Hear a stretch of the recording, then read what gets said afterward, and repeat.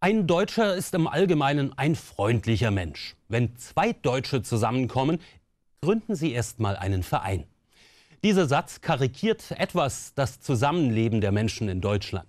Aber wenn man Volksfeste sieht, wie das Burbergfest in Kirchberg, merkt man ganz schnell, dass funktionierende Vereine eine solide Basis für gelungene Feste bieten. Ein kurzer Rückblick auf den Festplatz am Samstag zur Kirchberg Classics. Menschen, Menschen, Menschen.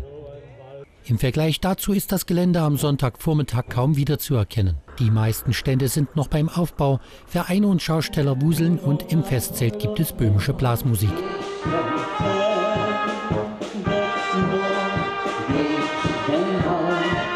Für viele Jahre war das die Stimmung am Sonntag. Doch entgegen allen Unkenrufen gibt es in diesem Land wirklich lernfähige Verwaltungen, wie sich noch zeigen wird. Auf der Freilichtbühne waren inzwischen die Vorbereitungen für den Chorwettbewerb in vollem Gange. Die musikalische Umrahmung bietet hier seit langem das Blasorchester des Christoph Graupner Gymnasiums Kirchberg. Eigentlich könnte man das aber eher als Big Band bezeichnen.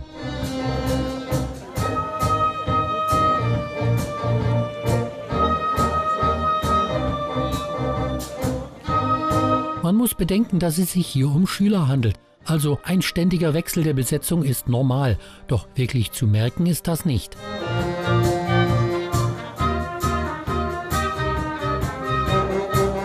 Das Rödelbachtal ist auch mit Chorvereinen recht gut belegt. Und so kamen allein durch die Chormitglieder recht viele Menschen an der Freilichtbühne zusammen.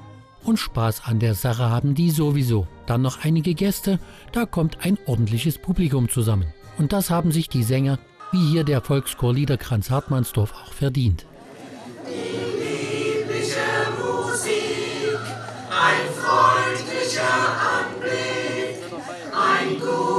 Am Rande ist die Bürgermeisterin dabei, die Funkengarde auf ihren Auftritt vorzubereiten.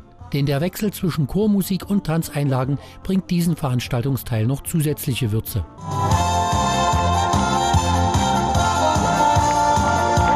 Bei den Kleinsten hatte Dorothee Obst alle Hände voll zu tun, um bei aller Aufregung die Steppkes an ihre Plätze zu stellen.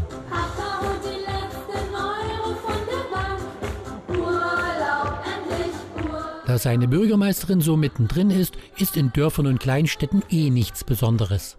Richtig, ich bin also Mitglied im Sportverein SV Rödeltal schon sehr viele Jahre, tanze dort selber aktiv in der Frauensportgruppe und habe auch für Nachwuchsarbeit gesorgt. Wir haben 30 Kinder jetzt, drei Tanzgruppen, Turntiger Minis, Maxis und die Look It und die trainiere ich jede Woche. Und das zahlt sich auf die Dauer auch aus, wie auf der Bühne zu sehen war.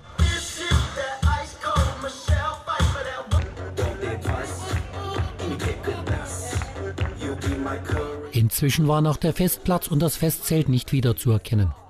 Die Kinder der Grundschule sorgten nicht nur bei den Eltern für Stimmung. Es wurden immer mehr Menschen, die den Sonntag auf dem Festplatz verbrachten. Ein fast schon genialer Schachzug, das frühere Kinderfest vom Freitag auf den Sonntag zu verlegen und daraus einen Familientag zu machen. Auch Clown Ferry hatte stets ein dankbares Publikum für seine Show. Nee, die habe ich schon gesehen. Also, wir machen folgendes. Wenn nicht der Zweite Weltkrieg vielen Festen den Garaus gemacht hätte, dann gäbe es dieses Fest schon seit mehr als 100 Jahren. Von 1881 bis 1939 gab es schon einmal ein Burbergfest. Dann war erst mal Schluss. Doch 1962 wurde die Tradition wieder aufgenommen und erfreut sich nun steigender Beliebtheit. Richtig, das ist eine große Tradition bei uns. Viele sagen natürlich, zum Bobergfest regnet es immer in Kirchberg. Aber man sieht, seit vielen Jahren ist uns der Wettergott huldig. Und äh, wir freuen uns, dass wirklich jedes Jahr so viele Menschen zu uns kommen und wir auch neue Gäste begrüßen dürfen. Ein kleiner Snack zwischendurch tut nicht nur den Menschen gut. Auch die Pferde, die den Wagen für die Rundfahrt ziehen, müssen bei den sommerlichen Temperaturen einiges leisten. Der Begriff Familientag ist für den Sonntag recht gut gewählt. Für jede Altersklasse ist etwas dabei und viele Vereine können sich hier einem großen Publikum präsentieren. Denn von Landflucht ist im südlichen Landkreis wirklich gar nichts zu spüren, auch wenn das kein Selbstläufer ist. Ja, es gehört viel Motivationskönnen natürlich dazu. Aber wir haben ganz starke Vereine, die nach Nachwuchs suchen, die sich sehr engagieren. Und das ist das Grundrezept, was man dafür braucht. Und mit diesem Rezept wird es hier auch weitergehen. Man kann gespannt sein, was sich die Kirchberger in den nächsten Jahren für ihre Gäste einfallen lassen.